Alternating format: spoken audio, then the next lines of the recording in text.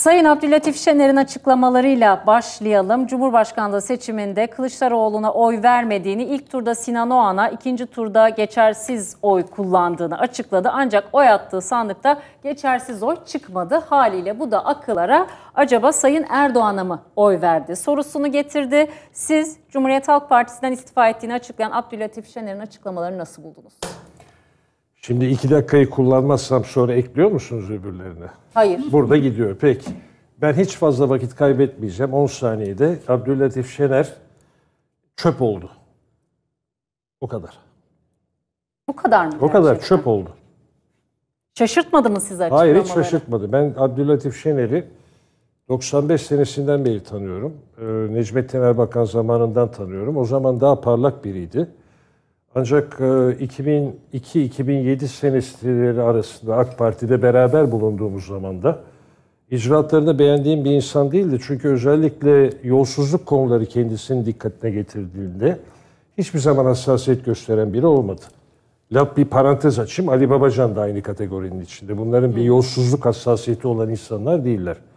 Ekonomiyle alakalı oldukları için işte Ofer, Mofer, Galata Port diye bahsediyor ama Galata Port'un haricinde onlarca e, konu dikkatine getirildiğinde hiç e, bir hassasiyet göstermedi.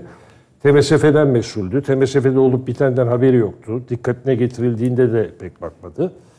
Ondan sonra size çok samimi söyleyeyim. Eğer 2007 senesinde AK Parti devam etmesini kendisine teklif etseydi devam da edecekti herhalde.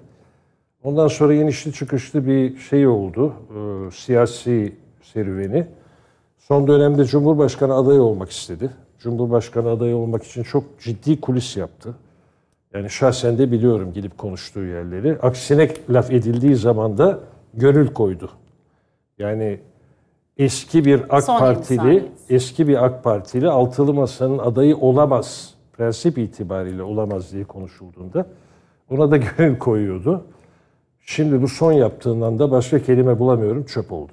Peki, çok teşekkür ediyorum. O zaman arkadaşlar timer'ımız çalışmıyor. Rahata yine- geçelim hadi.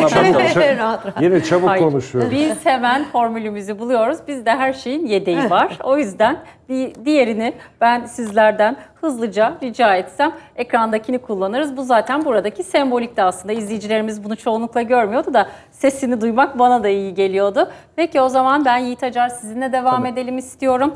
Ee, açıklamalarını tekrar seslendirmeme hiç gerek, gerek yok yok. sanıyorum. İzleyicimizi Sizin de de o zaman yormayalım. aynen Abdülatif Şener'in açıklamaları ile ilgili fikrinizi alalım. Buyurun süreniz Yani başladı. Türkiye siyasi tarihinin en kara lekelerinden biridir kendisi bugün itibariyle. Bunu biz biliyorduk açıkçası. Nasıl e, biliyorsunuz diye sorarsanız izleyicilerimiz siyaseti yakından takip ediyorlarsa Emin Bey'in de dediği gibi 20 yıllık AKP sürecinde ve ondan önceki e, işte Yeniden Refah Partisi'nin bugünkü Yeniden Refah'ın kökeni olan Refah Partisi zamanında da e, Abdülatif Şener'in omurgalığı ya da işte devlet adamı kimliğine bürünen bir kişi olmadığı çok bariz net bir şekilde ortada.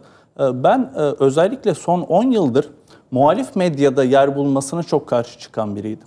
E, Bunu anlamlandıramıyordum. Başta işte Halk TV'de sonrasında diğer medya kuruluşlarında ve bir nevi sanki oralardan belli odaklar tarafından Cumhuriyet Halk Partisi'ne e, hazırlandığını, bir nevi pazarlandığını düşünen biriydim ve en baştan beri e, Cumhuriyet Halk Partisi'nde olmasının yanlışlığını, hele de bu altılı masa ittifakında sanki bir birleştiriciymiş gibi kimilerine gidip gelmesini, aracılık yapmasını da çok yanlış bulan biriydim ve bunu kimi mecralarda da dile getirdik ama e, tabii kötü bir durum oldu. 5 yıl e, kendisi de kabul etmiyor ama Cumhuriyet Halk Partisi'nde milletvekilliği yaptı. Yani ben CHP'li değilim diyerek hele bunu yaptı.